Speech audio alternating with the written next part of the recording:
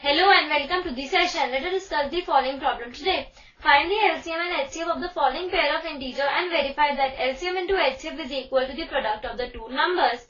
We have 336 into 54. Now let us write the solution. Here 336 can be written as 2 to the power 4 into 3 into 7 and 54 can be written as 2 into 3 to the power cube.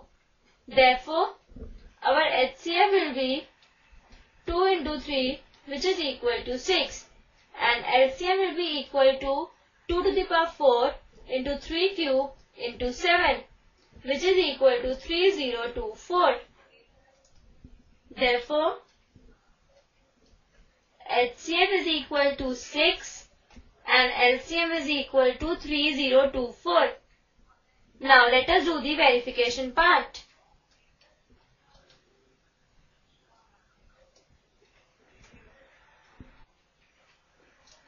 Here, HCF into LCM is equal to 6 into 3024 which is equal to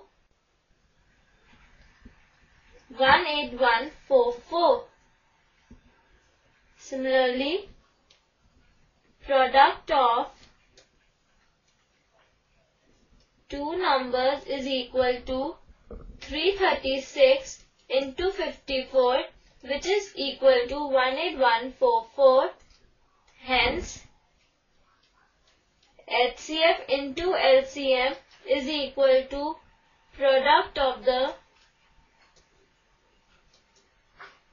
two numbers.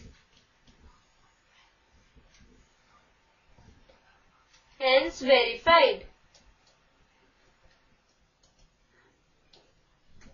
I hope you understood this problem. Bye and have a nice day.